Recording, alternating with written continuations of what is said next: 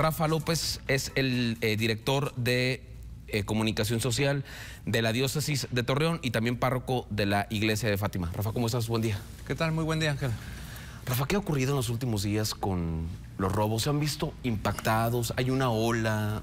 ¿Qué dice el comisario, el director de seguridad pública de esto, Rafa? Pues primero lo que me llamó la atención ante las eh, publicaciones que hicimos, porque no he presentado denuncia, eh, todo lo he hecho a través de las redes sociales.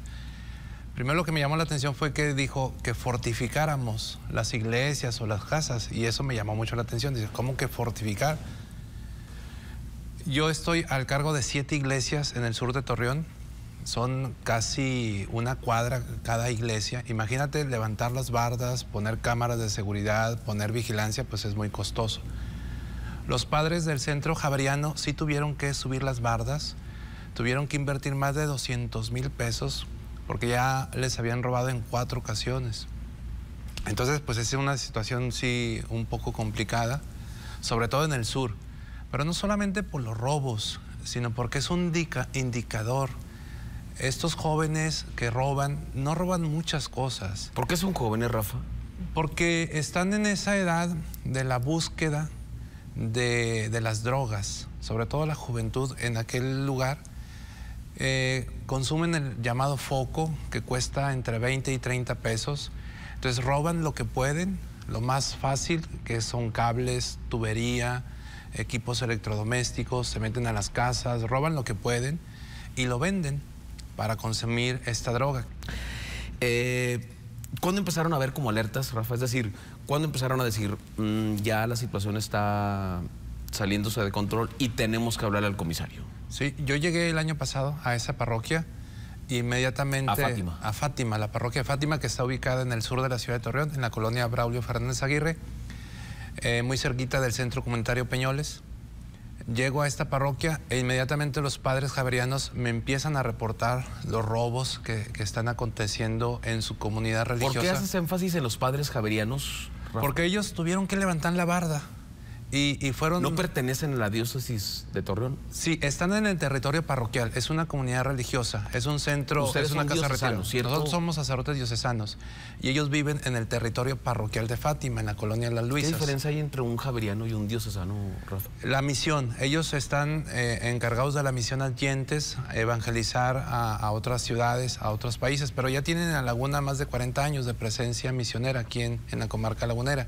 ¿Pero dónde puede tener injerencia la iglesia en medio de un ambiente tan hostil, en medio de situaciones tan complejas como suicidio, en el peor de los casos y en el mejor, pues la drogadicción como tal, Rafa. Es decir, ¿cómo llegas a evangelizar a un lugar que está completamente destruido? ¿Cómo pues llegar a edificar? Entrar en el corazón del joven, entrar en el corazón y anunciar un cambio de vida, un camino diferente. Es, es entrar, es meterse con ellos. Y, de veras, tú ves a los chavos y a veces son chavos muy buenos, pero que no han tenido un verdadero acompañamiento. Yo le decía al comisario, aquí dónde van a jugar los jóvenes, no hay áreas verdes, no hay áreas deportivas. Digo, hay una plaza, la Plaza de la Mujer, una canchita nada más. Digo, aquí tenemos que entrarle todos. Gobierno, dependencias municipales, iglesia, la cultura, todo porque intentamos rescatar a nuestros jóvenes, sacarlos de ese mundo de la drogadicción. ¿Qué, cuánto, ah, cuánto, cuesta un metro de, tubería? ¿Qué, era, qué, tramo de tubería? Pues eran ocho metros de, tubería de, cobre. ¿Qué tanto te cuesta? No cuesta nada. Pero rescatar la vida de un joven vale mucho. A mí me gustaría que algún día se dieran la vuelta porque el, sur de la ciudad de Torreón es, un foco de, delincuencia. Hace que un mes ahí ustedes reportaron el asesinato de una persona ahí en el crucero de Rodríguez Triana y Boulevard Laguna Sur. Eh, hace un mes yo realicé una misa ahí, una misa por la paz, eh, pues pidiéndole a Dios eso, pero no, no es tanto poner más seguridad, más policías, más ejército. Eso tú sabes que no, no va a funcionar sino es recuperar lo que se conoce el tejido social. La nota que consigna Milenio el pasado lunes, que es Iglesia Católica interrumpida frena robos en sus eh, parroquias, digamos que la nota como tal, la sustancia de la nota como tal, no sería esa, sino preocupa a la Iglesia Católica el consumo indiscriminado de drogas, ¿cierto, Así es, Rafa? así es. Eso es lo que se consigna, el consumo de drogas. El robo pasa a un segundo plano. Te digo, no es lo más importante, pero sí es un foco rojo. Para mí sí es un foco rojo. No, no es como tal el robo, es todo lo que hay detrás de ese robo. Eh, Fátima ha sido vandalizada, sí. eh, entraron a robarse la tubería de cobre. ¿Qué otras iglesias de tu jurisdicción han sido robadas? Ahí conmigo Santa Rosa de Lima, eh, Santiago Apóstol, el Señor de la Misericordia y la parroquia de Fátima. Y también el Centro Juvenil Javeriano. A los javerianos sí les llegar. Ahora, ¿cómo, cómo hace la iglesia católica o la diócesis de Torreón para eh, que Rafa llegue a decirle al obispo, Monseñor Luis Martín Barraza, eh, robaron mi iglesia y quiero levantar unos muros? Si Rafa toma 20 mil pesos, ¿cómo es el procedimiento, Rafa? No, bueno, las, las iglesias tienen que hacer todo Es decir, si tú quieres levantar muros, tú lo tienes que pagar. Así es.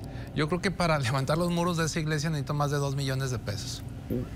Porque son siete iglesias. Es más, una, una iglesia le decía yo al comisario, ni tenemos barda, es malla ciclónica. Entonces fácilmente se pueden brincar. Los es- vecinos, Rafa, no son aliados tuyos. Pues, Sí, pero son muy, son muy poquitos vecinos. O sea, enfrente de Fátima tenemos una escuela. A un lado tenemos las vías, atrás un bulevar, la barda de Ferromex y a un lado vecinos, pero esa casa está desocupada. O sea, no hay, no hay protección. No hay manera de. Igual en las otros, en otras comunidades, es- o sea, son muy poquitos los vecinos. ¿Te vas a encerrar, Rafa? No, no para nada. Sí me voy a proteger, o sea, sí voy a tener cuidado. Pero no, no me voy a encerrar. Al contrario, hay que salir. Hay que salir a recuperar a esos jóvenes, a recuperar a esas familias. Cuando platicas, cuando has tenido la oportunidad de dialogar con alguno de ellos, porque los detectas, Rafa, ¿sabes al final del día quién fue? ¿El Padre Santo o el Mofles o el... ¿No? Sí, te ubican, te ubican y te conocen. Y Cuando te saludan. dicen, ¿qué, qué, qué les pasa, Rafa? O sea, ¿por qué entrar a robar a una iglesia y Es no a están- otro lugar? Están perdidos, Ángel. Están perdidos en la vida. No, no saben qué camino tomar, no saben qué hacer con su vida. Tú los ves eh, en un sofá, todo destruido, sentados con su mirada perdida. De veras, es una tristeza verlos. Yo los domingos en la mañana, ahí los veo sentaditos, con su mirada perdida. ¿Qué edad es, Rafa? Yo creo que andan entre 17, 18, 19 años.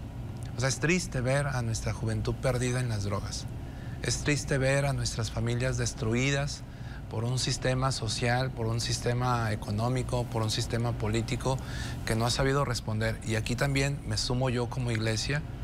Pues yo que creo que todos, que no- ¿no, Rafa? no- no Eh, hemos eh, respondido. Cuando hay una eh, tragedia de esa naturaleza, todos somos los responsables. No nada más el gobierno porque falló en la estrategia de seguridad, es. que finalmente ellos tendrían que contener el fenómeno de, de la seguridad como tal. Bueno, compromisos con el comisario. ¿El comisario va a hacer qué, Rafa? Él prometió que va a hacer programas. De hecho, en esta semana me van a anunciar algunos eh, programas de acercamiento social.